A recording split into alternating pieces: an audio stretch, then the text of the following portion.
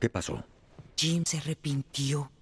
¿Hoy? Sí, normalmente pasa así. ¿Y qué quieres que haga? Habla con él. ¿Que yo hable con Jim? ¿Hablas tú o hablo yo? Ya conoces mi historial. Ya me poncharon. Yo nunca he bateado, ni siquiera he estado en la banca. ¿Que no trabajas de orador, motivando a las personas? Le digo a las personas cómo evitar compromisos. ¿Qué clase de mensaje enfermo es ese? Es una filosofía Una estupidez. que te hubiera servido. ¿Ah? Ryan, no has estado mucho aquí. Por favor, prácticamente no existes para nosotras.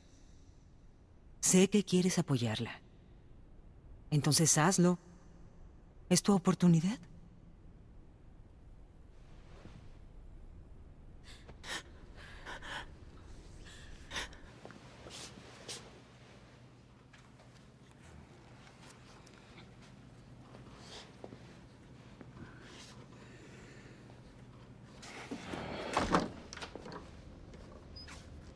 ¿Cómo estás, Ryan?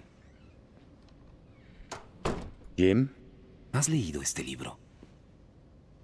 sí, ese libro es muy fuerte. Exacto. Ah, Cara mencionó que, que cambiaste de idea, ¿no? Creo que no voy a poder ah, continuar. ¿Y por qué lo dijiste hoy? Anoche estaba acostado en la cama y no pude dormir. Y empecé a pensar en la boda y en la ceremonia y sobre comprar una casa y mudarnos juntos, en tener un hijo y en tener otro hijo y luego las navidades y acción de gracias, las vacaciones e ir a juegos de fútbol y luego de pronto se gradúan y tienen empleos y esposas y ya soy abuelo y me jubilo y pierdo el cabello, engordo y de pronto estoy muerto.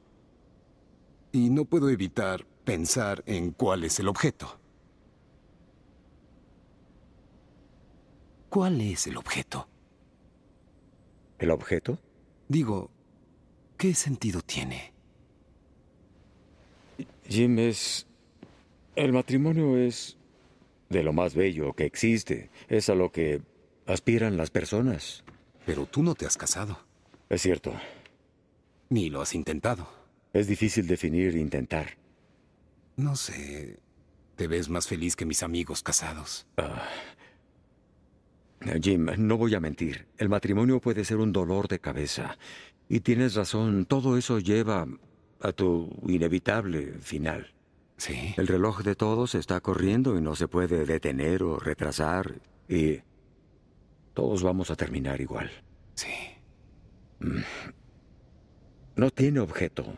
No tiene objeto. Es lo que digo.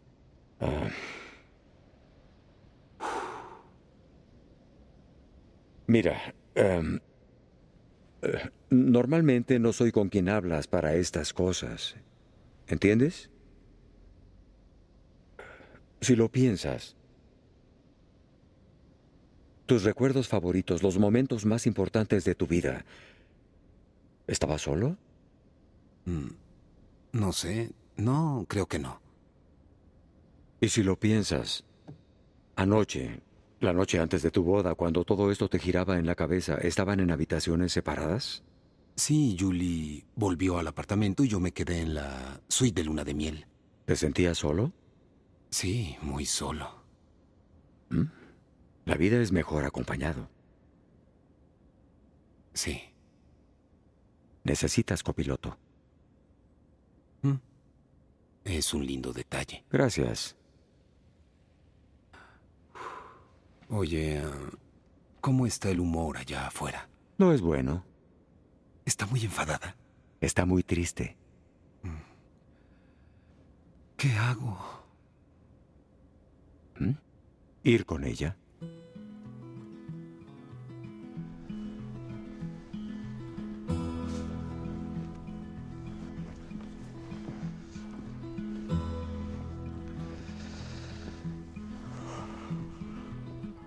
Soy un estúpido. Te amo muchísimo. ¿Serías mi copiloto? Jim. Sí. Sí.